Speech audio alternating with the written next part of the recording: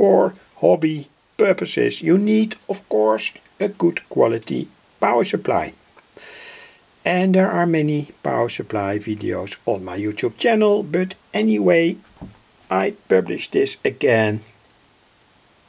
The reason is that this power supply has served me for approximately 15 years. Uh, I made a kind of little mistake in the past by not mounting the the 2N3055 here on the heatsink so it burned out yesterday. But I did it all over again rewired the whole circuit etc etc and perhaps it's interesting to show. Here the power supply transformer. Uh, here is the transistor that does the whole job the 2N3055 important to tell that the 2N3055 when you want to make it has to have an amplification factor say a beta uh, between 50 and 70 sometimes uh, when you order 2N3055s uh, of all kinds of sources even reliable sources their amplification factor when you measure it with a transistor tester does not meet 50 uh, times or 70 times. Uh, sometimes they even have a low uh, amplification factor of approximately say 8 or 10 or whatever. So uh, I'm testing the circuit now at this moment in more or less a shortcut situation here with that automotive lamp it takes the the uh, power supply really to its extremes. It's 1 ampere here now at the moment. The uh, power transistor gets very hot.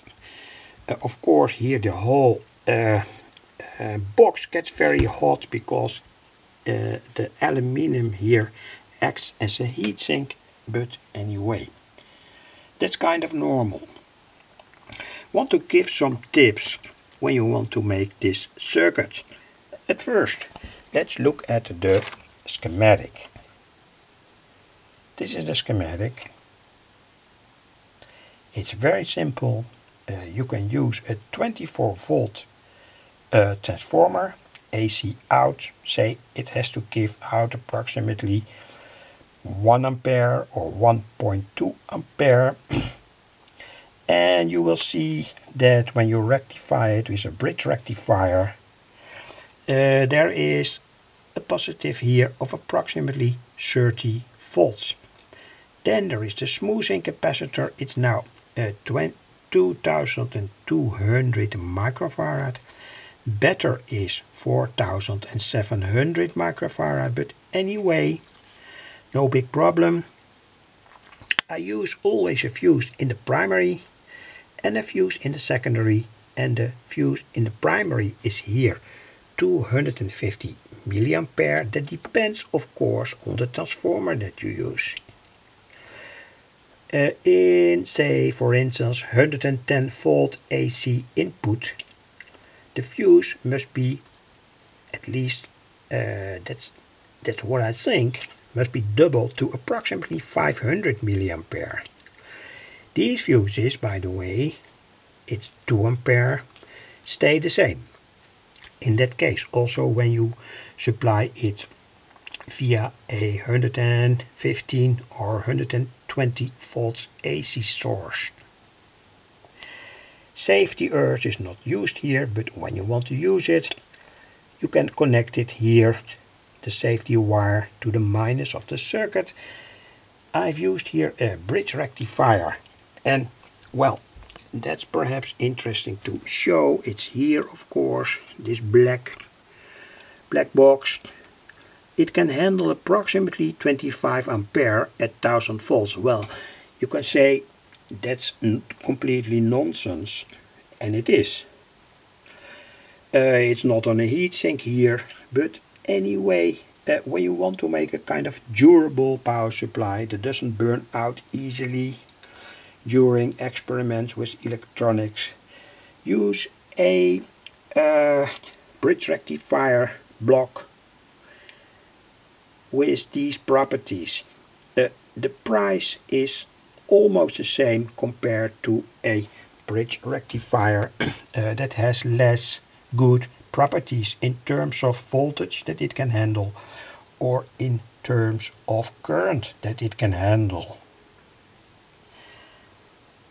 Uh, the 2 N305 is say the, the, the transistor that does the job it can get very hot and I have already talked about the uh, that a heat sink is necessary so a 355 on a heat sink primary and secondary fuse and when you want to mount fuses it's a good idea to make the say second fuse on the front so that you can easily change it. When say the current gets too high uh, the fuse burns out etc etc it's now 2 ampere that's quite high. You can also choose 1 ampere uh, it gives somewhat more safety. But on the other hand when you make a shortcut when you are developing an electronic circuit could be that the fuse burns out and that's not necessary.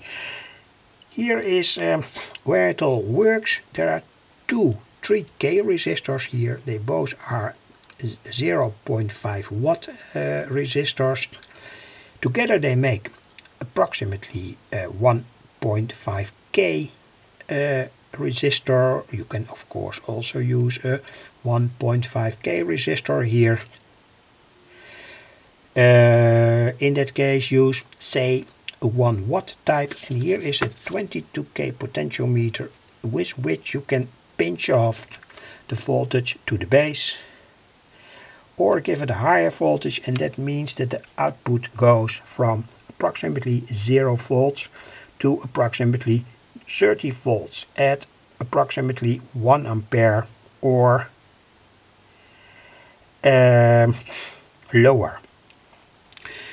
Uh, I'm gonna show how to make a shunt. This is important. Uh, this is the so-called Miller circuit. Here we have the base and there is a capacitor on from base to ground and you may amplify say the effective capacitor that the, the electronic circuit that is connected here at the output that it sees with the amplification factor of the transistor. So in this case 200 microfarad multiplied by 70. That's a lot. Not 7000 microfarad, but the, the double value. Anyway, that's very, very important. Here is, uh, say, an end capacitor. That's important. Uh, of course, you never know what kind of circuit here will be connected uh, in the range of 6 volt or 3 volt up to 30 volt. So this is a kind of stabilizing elements 100 microfarad and 100 K. The shunt uh, is a piece of wire. I have made a video about it. I will publish that. How to make a shunt. It's simply a piece of wire. You can see it here. This is the shunt that shunts the 500 microampere uh, meter, making it a meter that can uh, display uh, currents between say approximately 50 milliampere and 1.5 ampere.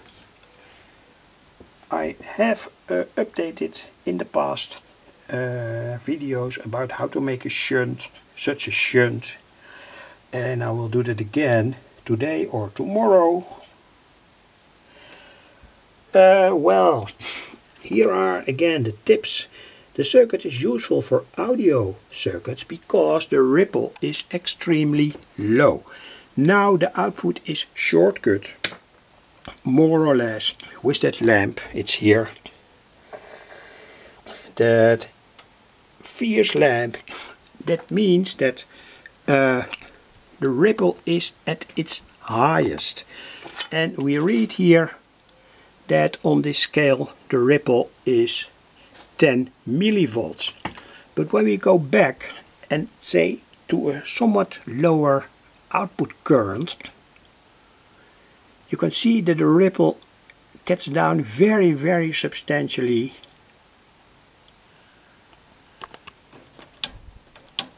So, in fact, this is for an audio circuit more or less a no ripple situation. That means that the hum that you can expect when you make audio circuits, uh, when you make audio circuits, uh, the issue of hum is very, very uh, prominent, important, and this means in, for audio circuits that there is, say, no hum, almost no hum. And say, when you go back to a even smaller voltage, you can see that the hum completely disappears. I have set my scope now really to the utmost amplification and this is say the normal noise that comes out of a power supply. So this uh, tells us something about the quality of this power supply and it means that this, the quality of this power supply is very high. That's not my opinion, only my opinion, but you can measure it, test it, measure it, etc, etc.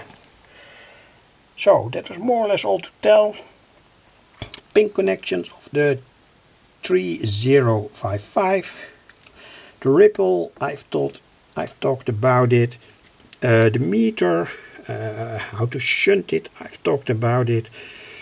Uh, the effective uh, uh, say ripple rejection the effective more or less endless output capacitor that the circuit sees that is connected to this power supply is uh, I've talked about it etc etc so not so much more to thanks for watching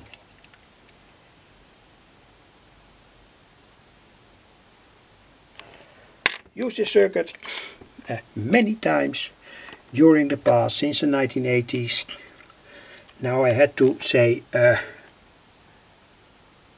uh, repair it in a certain way, redo it, etc. etc. So let's pan over somewhat. Here is the primary fuse in the 230 volt um, part of the transformer. Here is the secondary fuse and I have by purpose, I do by purpose always that that secondary fuse is not connected from the smoothing supply capacitor but directly from the AC to the uh, here. Here directly from the AC here. To the AC uh, electrodes of the bridge rectifier. Reason is that when the bridge rectifier burns out in an extreme strange case, this fuse will protect it, will protect the situation. So a very simple circuit, many things to tell. Here is the one and only earth connection here on the underside to the aluminum make a very very fierce connection with a bolt and a screw or whatever uh, to keep the say the internal resistance here in the chassis very low. Thanks for watching.